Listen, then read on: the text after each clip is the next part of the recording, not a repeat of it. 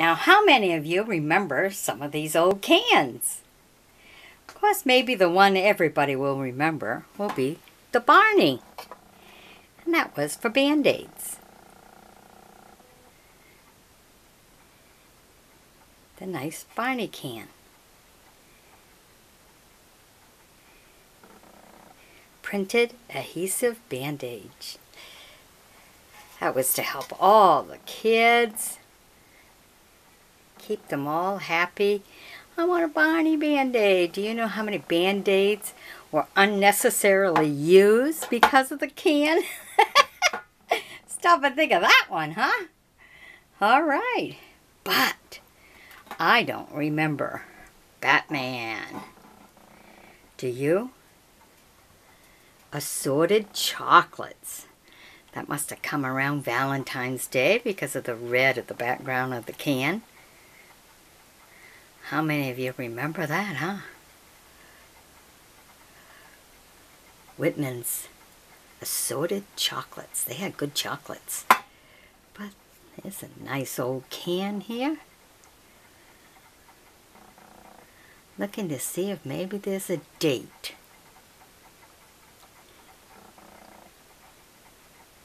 Best before C. Huh. Okay, apparently there was, ah, right here. January of 98. Okay. So it's 23 years ago. Kind of cool, isn't it? Batman. Alright, now I bet this one won't have no dates on it. Pineapple Drops.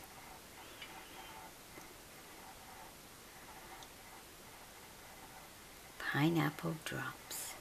A product of France. Ooh, nice round. All right. Nice design, isn't it? There you go.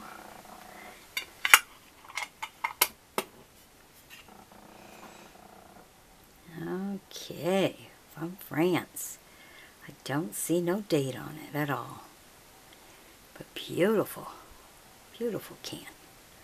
I like it. They fancied it up. But that's what you expect from France. Alright. Hope you've enjoyed my bringing them to you. Hope you recognize at least two of them, not all three. Alright. Bye-bye now.